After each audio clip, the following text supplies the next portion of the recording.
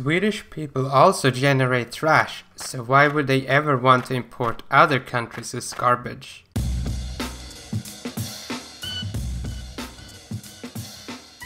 The reason is that they don't throw out enough garbage on their own, but why would they want more garbage? Isn't it good to have as little garbage as possible? Yes, in most cases it obviously is, and is better for the environment, but in Sweden's case it is not. Sweden is a cold country, especially in the winter, and heating could both be expensive and harm the environment if you use fossil fuel, for example. So what does this have to do with Sweden importing garbage? Well, instead of using oil or electricity, many households in Sweden is heated by trash.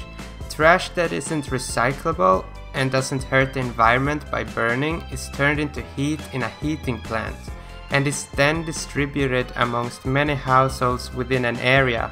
By burning the trash, they heat up liquid that goes directly into people's radiators or pipes in their floors if they have heated floors.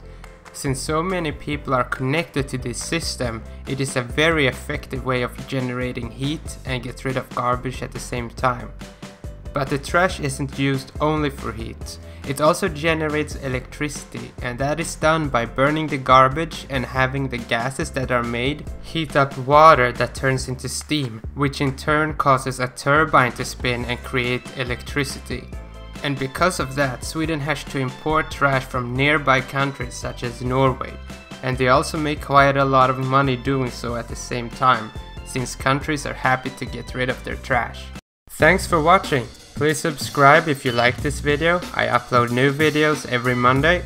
Check out this video if you want to have your plants watered automatically. If you have any questions, just put them in the comments and don't forget to give the video a like and stay interested.